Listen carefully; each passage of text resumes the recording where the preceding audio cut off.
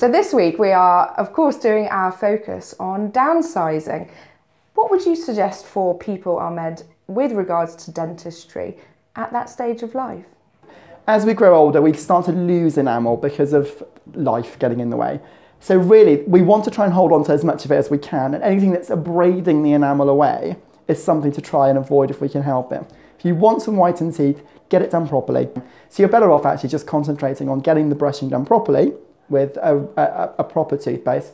Any of the Colgates, Oral-B's, Aquafreshes, normal cheapy brands will do the job absolutely fine. One of the things that a lot of patients aren't aware of, and we aren't aware of because we haven't really been told it from an early stage of life.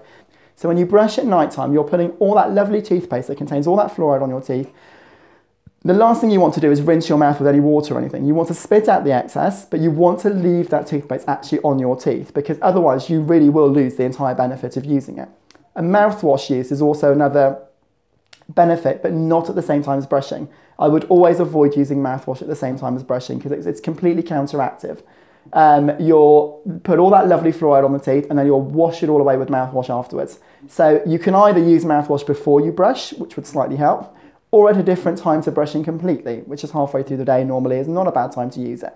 So the nighttime brush is more essential because anything that you leave on your teeth at night will stay on your teeth literally all night long. And if that happens to be fluoridated toothpaste, then you'll have the benefits of the effect of that all night long.